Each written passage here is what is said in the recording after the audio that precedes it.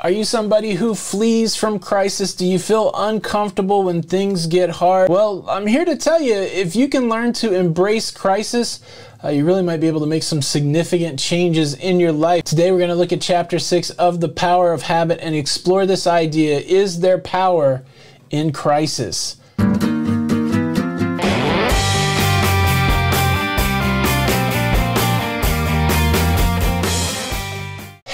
What's up, everybody? My name's Tony. I have to lose weight, and today we're working on our mind by going into chapter six of The Power of Habit. I'm going to try to keep this short and sweet. I just want to give you a few nuggets, a few things to think about. Chapter six in The Power of Habit is the power of crisis, and it focuses primarily on organizations, but I'm going to bring that around to our own personal health journey. The way they set this chapter up was to look at organizations that had significant failure. The Rhode Island Hospital, uh, the underground subway system in London, and then they just did some general corporate America type conversation. The big nuggets are this in organizations, there are many people competing for power. Uh, many people that are wanting to get ahead, but they all live in the umbrella of the organization. And in most circumstances, no one's desire to be powerful or to be number one will override the goal of the organization. Most people stay within the bounds of the organization. They don't want to wreck the organization, and therefore they temper their own goals, their own desires to make sure that the organization as a whole is successful. And the term they use in the book is truce. Uh, like when two sides war with each other, if they decide not to war with each other, they've come to a truce. They call it truce. I'm going to call it compromise. I think that's going to be easier. Let's think of it like that. Inside of organizations, people that are ambitious, trying to gain power, they want themselves to look better than others. They will come to a compromise for the greater good of the organization typically. If we look at the Rhode Island hospital, for example, the way that the nurses compromised with the doctors is they just kept their mouths shut.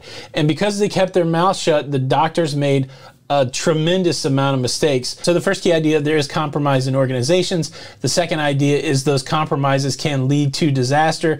And the third main idea is that it is in these moments of disaster or it's where crisis is imminent that the potential to challenge the compromises, the potential to make change that is effective, that's when it truly exists. That's when the motivation is there because the danger of the crisis, the danger of the disaster is compelling enough for change to occur. So, how is that applicable to our health journey?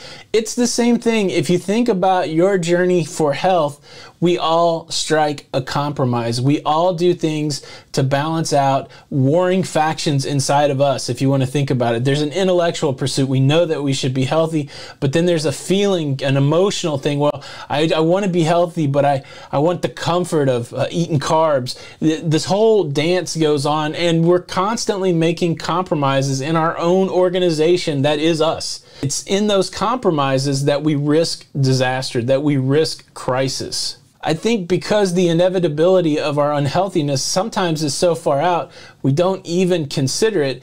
And so that's what I'm challenged to do. That's what I would challenge you to do.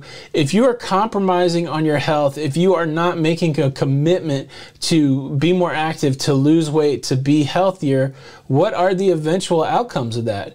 Does that mean you may not live as long? Does that mean that your quality of life may not be as well? Does that mean you can't go on that trip that you want to go on? Does that mean that you can't have that experience that you want to have? The interesting thing about people is we're able to push all of that out as something something we don't even have to consider, but the reality is it is there. Instead of running from that crisis moment, instead of running from the idea that this will happen eventually and not thinking about it, this chapter challenges us to to think about it. But the challenging thing is, if all we're doing is worrying about the future, worrying about our health, then all of a sudden, doesn't that diminish our quality of life? Isn't all this stress and turmoil and worrying about the eventual outcomes of our poor health, isn't this going to cause us more turmoil?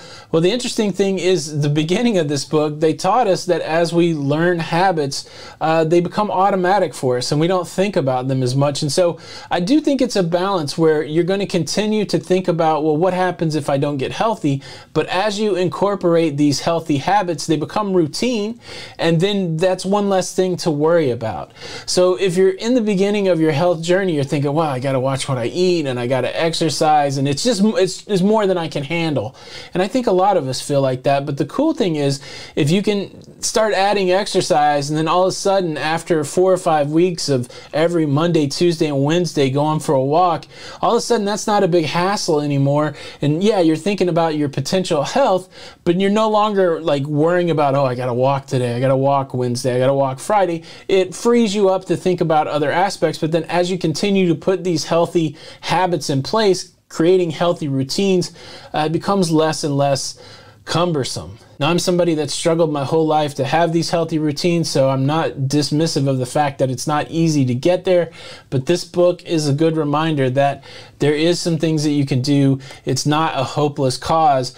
But, you know, this was powerful. Again, uh, are you somebody who says, look, I'll think about it tomorrow? Well, tomorrow's not the time to think about it. Not to fret, not to make us depressed, not to make us feel bad about ourselves, but to be realists, to be people that have control of their lives and saying, okay, look, if I don't do these things, this is the potential outcome, and what habits can I put in place so that is not my potential outcome?